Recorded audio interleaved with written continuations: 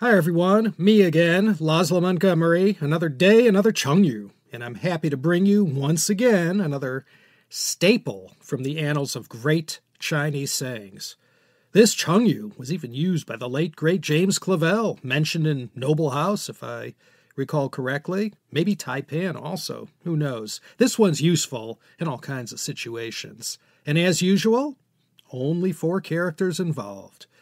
Our Chinese saying is Jiuniu Yi Mao, and without further wasting of precious time before we commence the telling of the story, allow me to break it down for you. Jiuniu Yi Mao.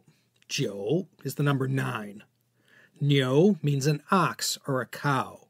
Jiuniu, nine oxen.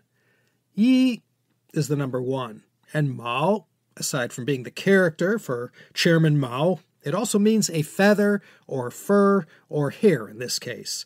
Yi Mao, one hair. Nine oxen, one hair. Well, well, what could that mean? Jiuniu Yi Mao.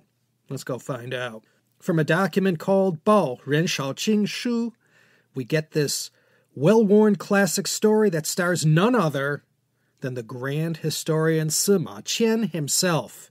We remember him, of course, for his achievement in completing the great work started by his father, the record of the grand historian, the Shi Ji.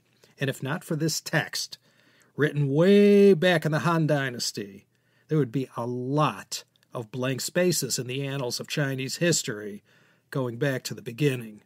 This story takes place during the time of one of China's greatest emperors, the Han Emperor Wu, Han Wu Di. This martial emperor had a major hand in stretching China's borders out beyond the traditional Yellow River Valley and its tributaries, and he did this mainly through conquest and to a lesser extent by diplomacy. And one of his generals was named Li Ling. He had done well as a Han general and worked his way up the military ladder and during the early part of Emperor Wu's 54 year reign from 141 to 87 BC, he had decided, after so many incursions into Han China by the marauding Xiongnu, that it was high time to hit back against them. The Xiongnu are often referred to in the history books as the Huns, but they were a tribal confederation who thrived on the Mongolian steppe north of everything happening along the Yellow River and the central plain of China. They had been a stone in China's boot for a long time, and Emperor Wu made up his mind to once and for all push them back north and out of these lands bordering China. General Li Ling was ordered to provide backup support for the great general Li Guangli, who was given overall command in dealing with these fierce nomads of the steppe. Li Guangli was a favorite of Emperor Wu thanks to his sister being the emperor's favorite concubine. Li Ling was kind of hoping to get his own command and had spoken up too soon and overconfidently about all the damage he'd be able to do on his own with only 5,000 crack troops. He said he'd deal decisively with these Xiongnu barbarians and to just leave it to him. To make a long story short, the emperor gave him the okay, and even though he knew it was risky and that he probably shouldn't have acted so cocky, Li Ling rode off in the direction of the Tian Shan Mountains that ran north of Xinjiang, running to the west into Kyrgyzstan and Uzbekistan. Well, Li Ling sort of walked right into a buzzsaw. He had expressed too much optimism to the emperor as far as how easy it was going to be to give the Xiongnu a licking. When he encountered the Xiongnu army, he found himself grossly outnumbered, and even though he hung in there a while and inflicted a great amount of pain and suffering on the Xiongnu army, in the end he was soundly defeated and captured by the Xiongnu. Well, the way it worked in those days, when you got an order direct from the emperor and you failed, you had best fall on your sword because your career was, for all intents and purposes, over. Instead of killing himself, Li Ling opted to defect and live out the rest of his days amongst the Xiongnu and help train their military. When word got back to Han Wu Di about the loss in battle, he was livid to say the least, and reading the Emperor's mood correctly, all of Li Ling's detractors at court piled on and dissed him in front of the Emperor, and everyone took turns putting their sword into Li Ling. And while everyone at the palace was giving their two cents to the Emperor and painting Li Ling's defeat in the worst possible light, Sima Qian stood by silently, not saying anything. Li Ling had always been a friend and political ally of his, so he opted not to stick a knife in his back. The Han Emperor Wu turned to Sima Qian and asked his illustrious palace historian what did he think about the whole thing. Well, he should have just gone along with what everyone else was saying because it was pretty evident Li Ling was cruising for a bruising with Han Wu Di over the whole defeat. The Emperor hadn't heard yet about the defection. That came later. And when he found out, the Emperor would order the summary execution of Li Ling's wife and mother. That was a harsh, unforgiving time back then. Well, Sima Qian, instead of going with the flow, defended Li Ling and said, even though he fell to the Xiongnu, he had always served well in the past and had many victories under his belt. He continued that Li's army of 5,000 faced off against tens of thousands of Xiongnu mounted soldiers. True, he had been annihilated, but he had lasted more than 10 days in battle and had killed thousands more of the Xiongnu. He said that they shouldn't discount the notion that perhaps he willingly surrendered so that he might regain his strength and, when the time was right, avenge the country and conquer the Xiongnu.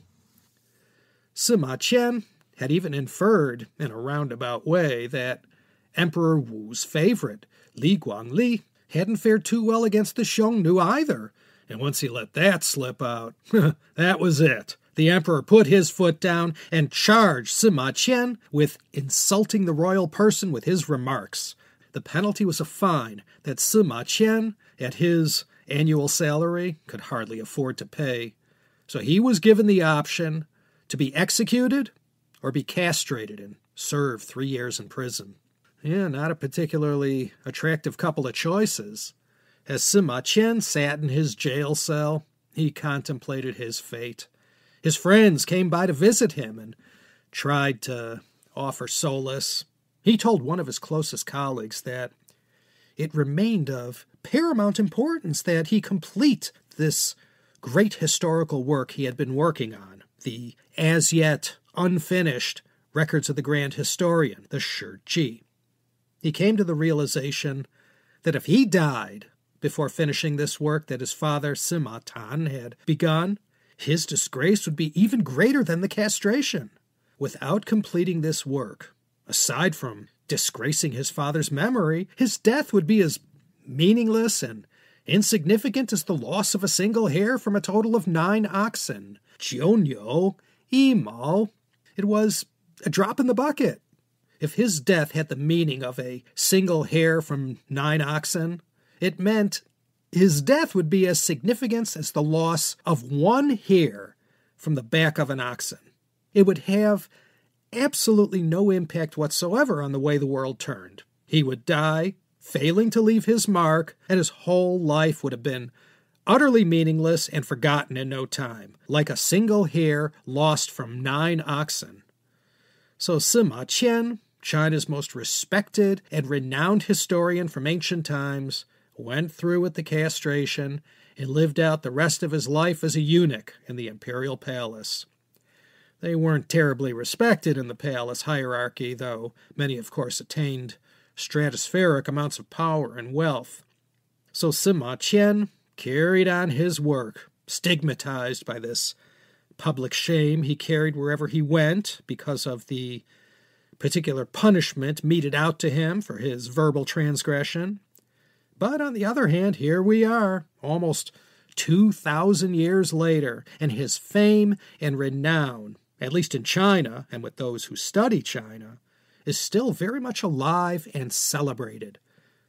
And had he allowed himself to be executed, he never would have finished the great work for which he is immortalized.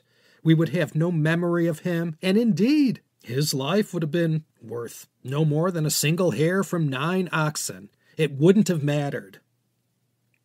And whenever you want to show something is quantitatively insignificant, a drop in the bucket, as we say using the English idiom, of no importance, you can say, yeah, it's nothing more than a single hair taken from nine oxen, utterly useless, something no one would miss.